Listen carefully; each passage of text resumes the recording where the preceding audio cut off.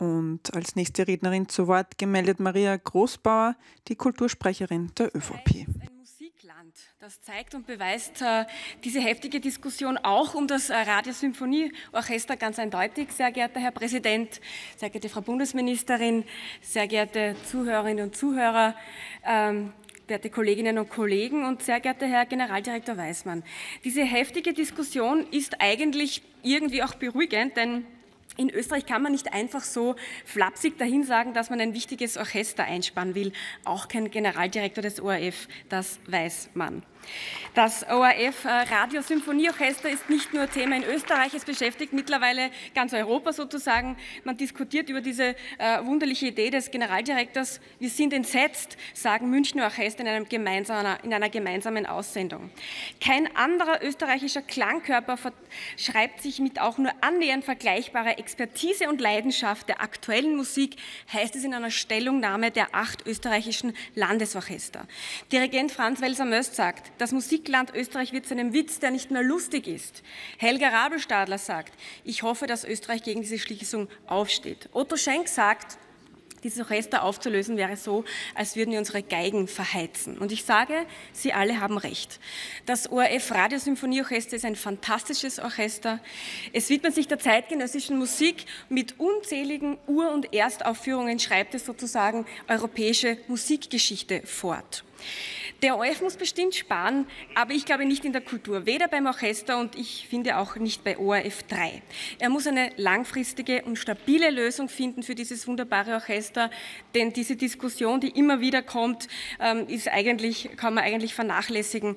Äh, es wurde schon mal die ORF Big Band eingespart, es gab auch mal einen ORF Chor, notabene der ARD hat im Übrigen 16 Ensembles und Orchester. Und der ORF muss sich schon noch bewusst sein, welche Sendungen und Produktionen die mit Abstand meist gesehenen sind. Das sind Sendungen zum Thema Kultur und Sport. Und die meist gesehene Sendung äh, des ORF im Jahr ist das Neujahrskonzert der Wiener Philharmoniker.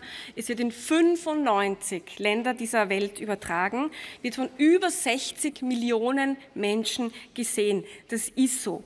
Und im Übrigen, Kollege Spalt von der FPÖ, es gibt doch sehr viel Volkskultur äh, in den Regionalradios, in den Bundeslandsendungen. Also das ist ja etwas ganz Wertvolles und Wichtiges und findet auch statt, aus meiner Sicht.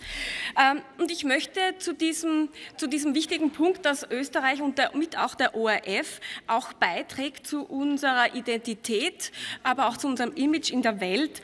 Ähm, Außenminister Schallenberg kurz zitieren, der letztes Jahr, letzte Woche gesagt hat, anlässlich 50 Jahre Auslandskultur, Kultur ist ein zentrales Element unserer internationalen Softpower. Gerade jetzt, in diesen Zeiten, brauchen wir diese Softpower. Kultur bleibt und ist unsere verbindende Konstante. Und weil im Zusammenhang mit dem ORF äh, auch immer wieder die Stichworte Digitalisierung und Streaming fallen, ich sage, in einer digitalen Welt brauchen wir auch stark das Analoge. Es ist extrem wichtig. Und da muss ich auch wieder meinen Lieblingssatz hervorholen. Kunst ist wie Küssen, das muss man auch spüren, live und echt. Aber zurück zu den Gesetzen. Im ORF-Gesetz, Paragraph 4, ist der öffentlich-rechtliche Kernauftrag ganz klar verankert.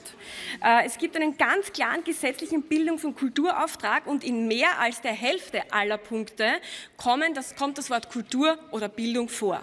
Des Weiteren die Begriffe österreichische Identität, kulturelle Eigenständigkeit Österreichs, regionale Identität, vielfältig kreativ, Produktion, Unverwechselbarkeit, hohe Qualität.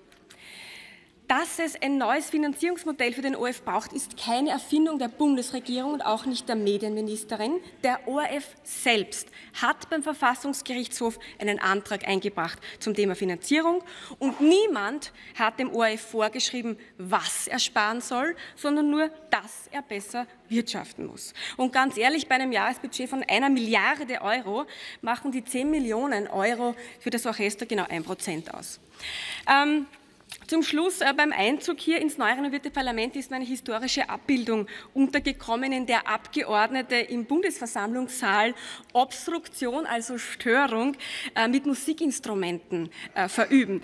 Äh, Herr ORF-Generaldirektor, also ich habe jetzt aufgrund der Dringlichkeit dieser Debatte leider kein Instrument äh, parat hier heute, aber ich glaube, Einige Abgeordnete und auch die gesammelte, versammelte Kultur Österreichs hat Ihnen in den letzten Tagen ziemlich den Marsch geblasen und ich hoffe, Sie haben das auch gehört. Vielen Dank.